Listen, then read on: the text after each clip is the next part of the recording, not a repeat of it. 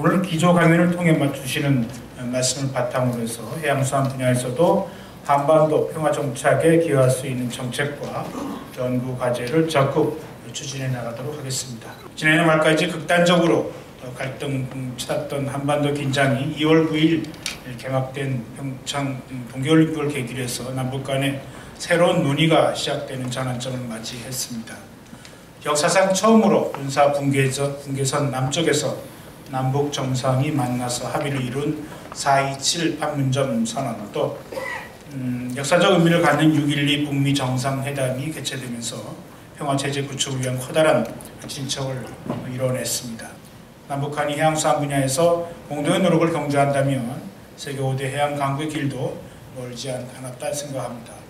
문재인 정부에서 이 한반도 신경제 지도 구상이 현실로서 구현이 되기 시작한다면 남북 경제 공동체는 시작이 되는 거고 그 과정에서 해양수산개발연구원이 해야 될 일이 많이 있으리라고 생각합니다. 바로 이 북쪽에 경, 김정은 정권이 내놓고 있는 경제특구 개발 전략이 바로 바닷가로 몰려 있습니다.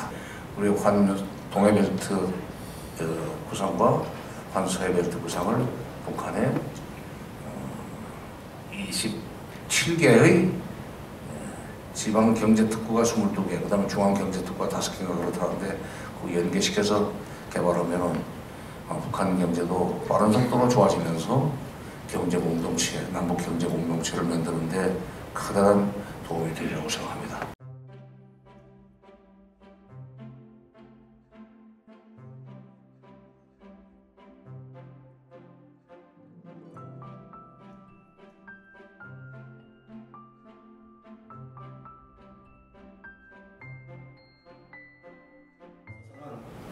북한 지역에 있어서도 또는 남북 접경 지역에 해양, 해양 수산 분야의 클러스터 개발을 조금 했으면 좋겠다는 의견들이 어, 많이 나왔고요.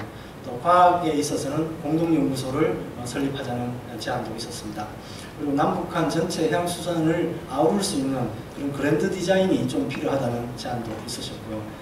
어, 해운 항로의 기반이, 기본이 되는 안전, 안전의 안전 시설을 어, 조속히 해, 북한 지역에 설치를 하고 인력 양성, 어, 그 다음에 조선 부분의 협력까지 어, 제안을 해주셨습니다. 또 크루즈 산업과 관련된 어, 그런 관광 어, 활동들도 이 해운항로에서도 어, 제안이 됐고요. 또 특히 접경 지역에 유류 오염 사고가 발생이 됐을 때 현재 그다지 저희들이 준비가 되어 있지 않은 것 같습니다. 이런 부분에 대해서도 남북이 조속히 어, 협력 체계를 구축해 달라. 그래서 해양수산 부분에 있어서 어, 북한과의 협의 체계를 전방위적으로 확대를 해야 될 필요가 있다고 생각합니다. 또 지금 많은 소분야별로 어, 북한 전문가들이 제3국에서 또는 어, 이렇게 협의를 지금 하고 있는 하고 있습니다. 접촉면이 넓어지고 있는데요. 이런 접촉 결과들을 저희들이 정책에 여하이 적절하게 반영을 해 나가는 그런 메커니즘이 좀 필요한 것 같습니다. 또한 현실적으로 전략 목표를 좀 설정하는 노력이 좀 필요하지 않을까 생각을 하고 있습니다. 막연히 얼마 정도의 투자가 아니라 북한의 역량을 뭐 항만이면 항만, 해운이면 해운, 수산이면 수산 특정 수치를 저희들 설정을 좀 해서 40%는 40%, 50%는 50% 설정을 한 다음에 단계적으로 그를 위해서는 어떤 투자가 있어야 될지, 어떤 우선순위가 있어야 될지 이런 진행 사업 진행에 대한 그런 전략적인 목표들도 같이 좀 논의가 되기를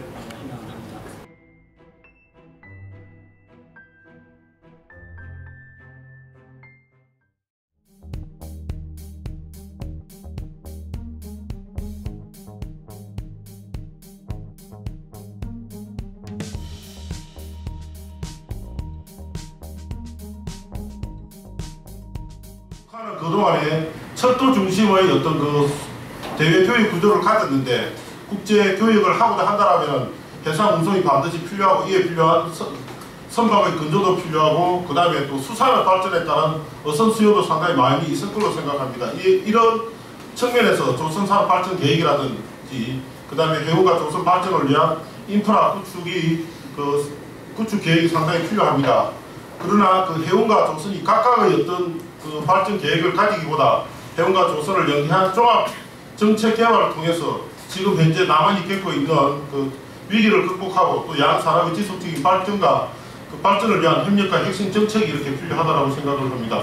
항만과 그다음 해운이 이렇게 연계될 때 그 해운 남북 간의 해운 협력이 잘 될 수 있다고 생각을 합니다. 그 그리고 그 남북한의 해운 조선 역량 비교를 통해서 격차를 해소할 수 있는 정책을 마련한다라면 이것은 또한 통일 후에 경제 부담을 상당, 상당히 완화할 수 있다고 생각을 합니다.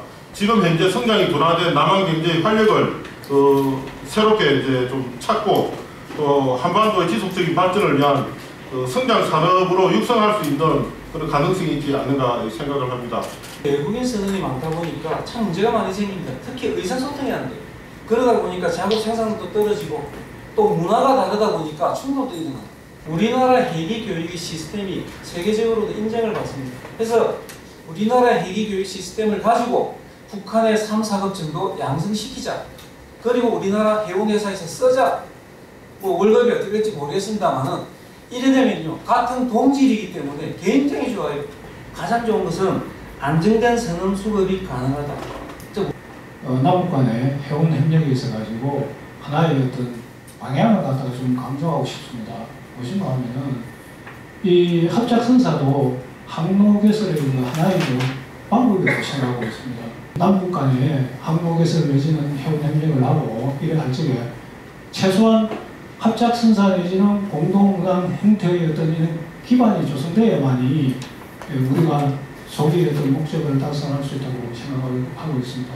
하여튼 조금 시간이 있을 때 어, 향수하고에서 합작 운항 형태의 이 체제를 갖다가 구축하는 걸 충분하게 고민해가지고 앞으로 협력할 때 초창기 어느 정도 그러니까 어, 자율적인 선사의 어떤 영업기관이 확보될 때까지는 이러한 체제를 갖다가 충분하게 구축해가지고 출발하는 것이 남북 해운 협력의 어떤 성공적인 그 목적을 달성할 수 있는 길이지 않겠느냐 그렇게 생각하고 있습니다.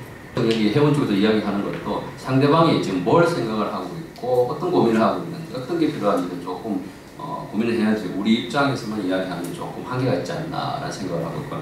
또 한편 이제 북한 분들을 만나서 이야기를 들어보니까 그분들 기본적인 사고 체제가 아, 우리는 형이다, 남은 동생이다. 그런 측면에서 우리가 가르쳐 주겠다, 뭘 주겠다고 생각을 하고 접근하면은 아마 절대로 어떤 좋은 아이디어나 좋은 어, 생각들도 어, 기술들도 돈도 아마 안 받아들일 거라 생각이 들어서 그 부분을 좀 우리 바탕에 좀 깔고 어, 준비를 좀 하셔야 될 것 같고요.